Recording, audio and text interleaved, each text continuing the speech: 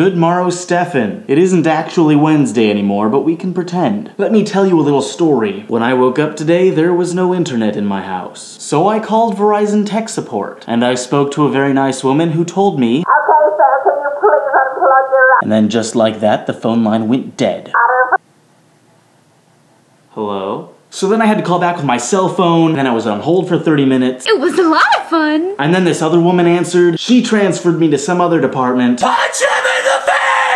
I was on hold again for another 15 minutes. Then this guy answered, told me to hold on some more. Eventually got the dial tone back. Then the guy ran some more tests. And then I got put on hold again. And then he fixed the problem and I had internet again.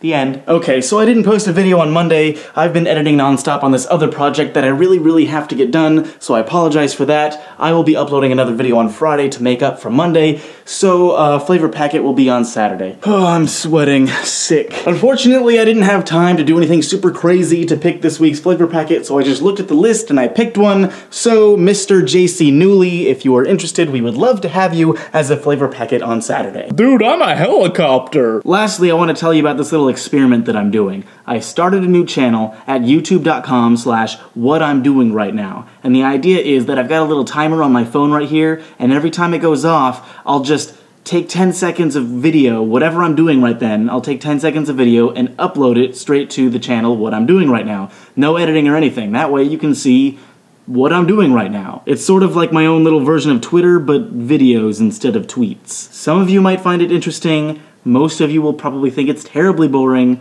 but we'll see what happens with it. Stefan, I will see you tomorrow.